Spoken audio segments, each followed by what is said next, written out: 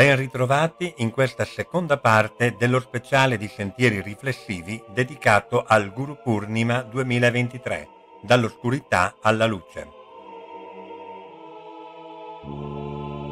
Nella parte precedente, Ostacolare la spiritualità ha il suo perché, abbiamo cercato di affrontare alcune delle classiche titubanze caratteristiche di coloro che sono indecisi sull'intraprendere un percorso spirituale. In questa seconda parte diamo per scontato che tali titubanze siano state positivamente superate e parleremo dell'importanza del guru in riferimento a karma e dharma. Da qui il sottotitolo Il guru, il condottiero che ci guida oltre il karma e il dharma.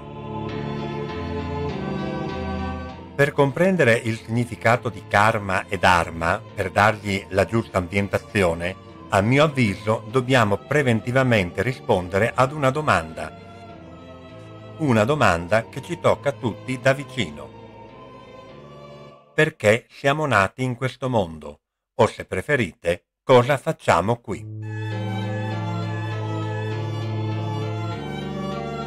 Per qualcuno è talmente ovvio perché siamo qui che non trova le parole per spiegarlo. Per altri la domanda è talmente banale da non giustificare nemmeno un loro interessamento. Altri ancora invece abbozzano una risposta più o meno convincente, ma quando si chiede loro di argomentarla, di approfondirla, prima tergiversano, poi s'arrendono e cambiano discorso. Reazioni più che comprensibili sono gli effetti collaterali dell'argomentare e dell'approfondire. Argomentare e approfondire significa portare luce in quegli anfratti, in quei luoghi stretti, tortuosi e scoscesi di se stessi. In quei luoghi in cui i più desistono alla sola idea di provarci.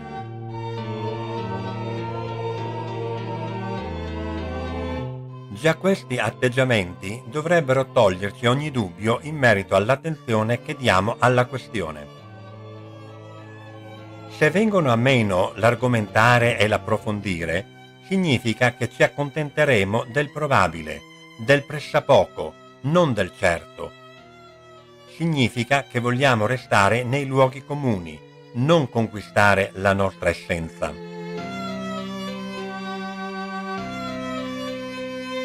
Credere anche solo per un momento che siamo qui per via dei propri genitori è letteralmente fuorviante loro, consci o meno, ci hanno fornito unicamente l'occasione per giungere qui. Infatti ci sono molte coppie che non riescono ad avere figli, nonostante i loro sforzi. Non dovremmo ignorare questo particolare per avvalorare la conclusione che siamo qui perché loro lo hanno voluto o per un loro errore. Non dovremmo deresponsabilizzarci così gratuitamente. Noi siamo qui per uno scopo ben preciso. Fingere di non conoscerlo, continuare ad ignorarlo o a disconoscerlo non lo renderà inefficace, meno importante o inesistente. Al contrario, lascerà noi alla deriva senza una meta. Un detto dell'antica Grecia ammoniva. Se getti le tue perle in mare, non sarà il mare a diventare più ricco, ma tu più povero. Cosa mette in evidenza questo antico detto? Che a rimetterci è solamente chi non coglie le occasioni, chi le lascia cadere non valutandone le opportunità che rappresentano. Compreso che siamo qui per uno scopo ben preciso e non per un caso, ecco che siamo in grado di intuire il significato di intravedere i concetti che racchiudono karma e dharma oltre alle parole convenzionali. Il termine dharma spesso viene tradotto come rettitudine, dovere, obbligo morale, ma anche come legge divina, ordine cosmico. Ogni cosa nella creazione ha il suo specifico dharma che ne dettaglia il dovere sia nella sua unicità che nelle sue relazioni.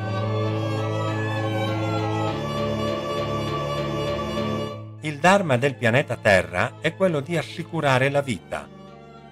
Per assolvere questo dovere deve far sì che la luce del Sole, con il suo calore, arrivi in tutta la sua superficie, in modo da permettere sia una sorta di pulsazione quotidiana, giorno e notte, che una di intensità, le stagioni. Quest'ultimo punto implica che il pianeta Terra debba relazionarsi con il Sole, ovvero ruotare attorno ad esso seguendo un percorso ellittico nel quale dovrà variare la sua velocità per non uscire dal percorso, per non nuocere alla vita che ospita. Per soddisfare questo Dharma, il pianeta Terra deve agire, ovvero compiere delle azioni. Karma, appunto, significa azione. Ogni azione è sia madre che vincolo delle successive. Quindi, quando parliamo di karma, azioni, parliamo implicitamente anche della legge di causa ed effetto. Ogni azione crea una conseguenza, catene di causa-effetto come le tessere di un domino, e tutte alla fine si riassorbiranno nella causa che le ha portate in essere. In altre parole, tutte le azioni ritornano al mittente. Per questo si dice tu le dimentichi, ma il karma non dimentica le tue azioni. Infatti, il karma non ragiona in termini di tempo. Questo è il motivo per cui oggi ci troviamo a scontare sia a livello individuale che sociale un karma positivo o negativo prodotto dalle azioni precedenti le quali possono riferirsi a pochi istanti fa oppure a parecchie esistenze precedenti. Anche l'uomo ha il suo Dharma. Ne ha uno personale, uno legato al suo ruolo nella società e uno in relazione all'intero universo. Infatti, un uomo sposato in qualità di marito ha un Dharma nei confronti della moglie come padre ha un Dharma nei confronti dei figli.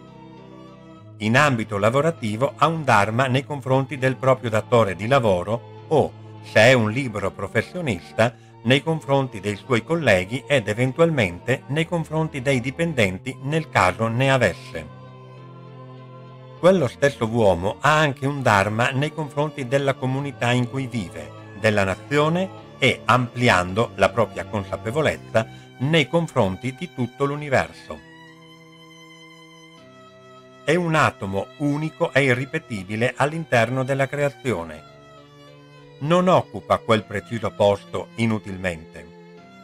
Il suo ruolo ha un valore unico, incomparabile. La creazione non valuta l'importanza del ruolo di un suo elemento in termini di appariscenza non ha un ego da appagare esibendolo. Quando l'uomo non segue il Dharma riferito alla sua persona, compromette la sua armonia, si ammala. Quando non rispetta il Dharma prescritto per la società di cui fa parte, viene a meno l'armonia di quella società, si ammala quella società. Quando una persona o una società trascura il proprio Dharma per seguire le orme di un'altra persona o società che si allontana dal proprio Dharma, ecco sorgere malcontenti, incomprensioni, tensioni, disordini, guerre. Quando l'uomo dimentica il suo Dharma, le sue azioni, karma, diventano adarmiche, non più dharmiche le sue preghiere o vengono a mancare oppure diventano sostanzialmente richieste. Non pregando per pregare, il risultato non cambia, poiché manca la fiducia nella propria essenza, nel guru, in Dio. Le vibrazioni che propaga nell'universo non ne aumentano la vibrazione. Sostanzialmente quello che accade e giustifica la negazione di Dio è molto semplice Occultando a se stessi che ci si sta allontanando dalla fonte, si è correttamente indotti a dedurre che la fonte non esiste e la prova che ne consegue è incontestabile.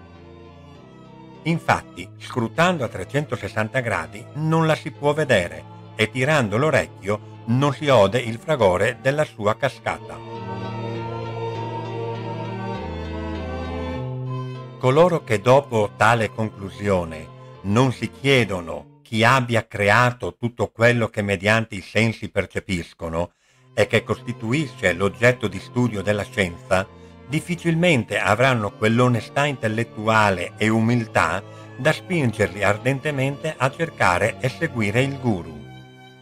Ma per coloro che avendo compreso che la fonte non è più visibile né udibile perché si sono allontanati troppo e smarrendosi non sanno più come farvi ritorno, ecco che il guru darà tutto se stesso, adempierà senza riserve alla sua promessa. Fai un passo verso di me ed io ne farò cento verso di te. Prima di concludere questa seconda parte, un'immagine riepilogativa può offrire una migliore comprensione del concetto e relazione tra guru, karma e dharma.